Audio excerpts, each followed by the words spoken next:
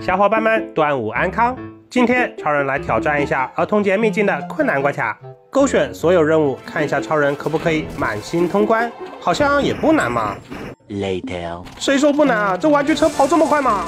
没想到大练来得如此之快。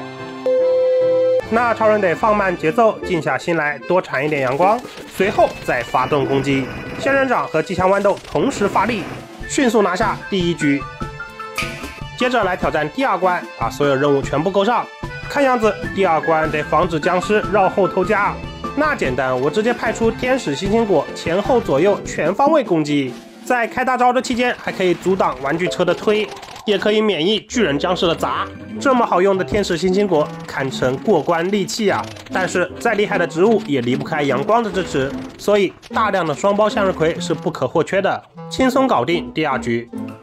第三关继续勾选所有任务，对超人来说根本不需要看任务的内容，随便选出几个植物直接开打就行了。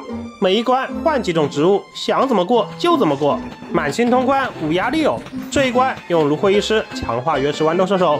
往场上不断的丢菜问，大招所到之处所向披靡啊！管你是冰淇淋车还是玩具车，全部打爆！菜问巨怪圆弯输出轻松解决。这一局运气还不错，菜问上场开大招的概率很高嘛。这一关连巨人僵尸都没有，圆弯上场杀鸡用牛刀了。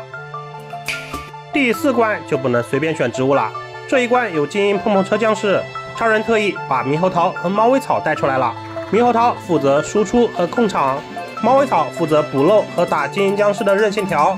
我们看到儿童节玩具车僵尸的推进速度特别快，不过它停住了，因为它被猕猴桃打到地里去了。这也算是硬控了吧？眼看着双胞向日葵就在面前，它就是推不动啊，还得这么多玩具车僵尸才推动一下。来，猕猴桃继续硬控，猫尾草往土里发射激光，看你们怎么抵挡。很快，精英碰碰车僵尸就出来了。现在轮到猫尾草出场了，一个大招砸下去，韧气条减少了三分之一。不过它的疯狂旋转，不断的在把我的猫尾草子弹往回弹。虽然我的植物也损失惨重，但是咱们就是对攻，火力硬拼，就看你强还是我强了。这个精英碰碰车僵尸虽然韧性条掉了，但是它依旧非常扛啊。即使面对五阶植物的疯狂输出，它的血量依旧掉得非常慢。继续用猫尾草的大招去打它的韧性条。我们看到它来回穿梭于植物当中，丝毫不知疲惫。